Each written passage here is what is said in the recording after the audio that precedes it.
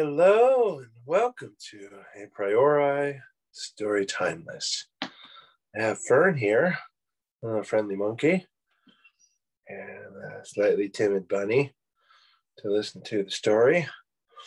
Okay, this story comes to us from uh, the Akan uh, uh, peoples in the area of Cote d'Ivoire Ghana. And this is called why Anansi has eight thin legs.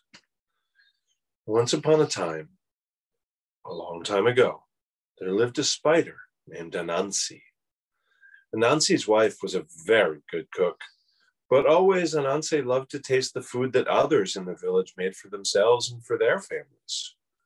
One day he stopped by Rabbit's house.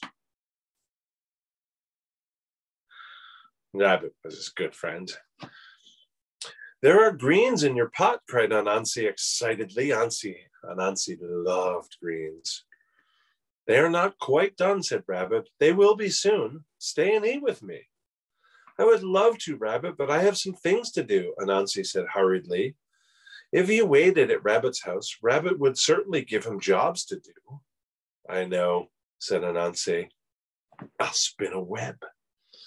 I'll tie one end around my leg and one end to your pot. When the greens are done, tug on the web, and I'll come running. Rabbit thought that was a great idea.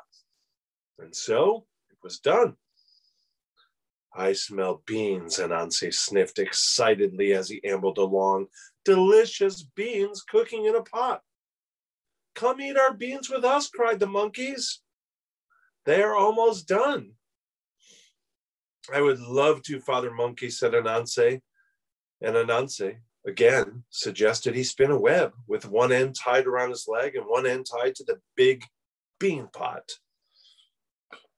Father Monkey thought that was a great idea. All his children thought so too, and so it was done. I smell sweet potatoes.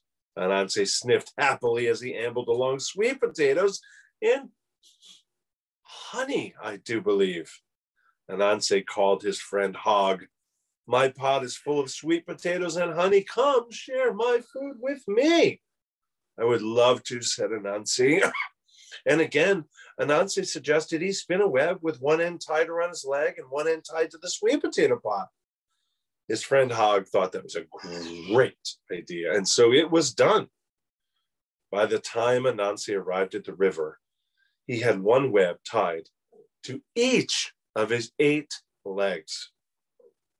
This was a wonderful idea, Anansi told himself proudly. I wonder whose pot will be ready first. Just then, Anansi felt a tug at his leg. Ah, said Anansi, that is the web string tied to Rabbit's greens. He felt another and another. Anansi was pulled three ways at once. Oh, dear, said Anansi as he felt the fourth web string pull. Just then he felt the fifth web string tug, and the sixth, and the seventh, and the eighth. Anansi was pulled this way and that way as everyone pulled on the web strings at once. His legs were pulled thinner and thinner. Anansi rolled and tugged himself in the river. When all the webs had washed away, Anansi pulled himself painfully up on shore. Oh my, oh my, sighed Anansi. Perhaps that was not such a good idea after all. To this day, Anansi the spider has eight very thin legs. And he never got any food that day at all.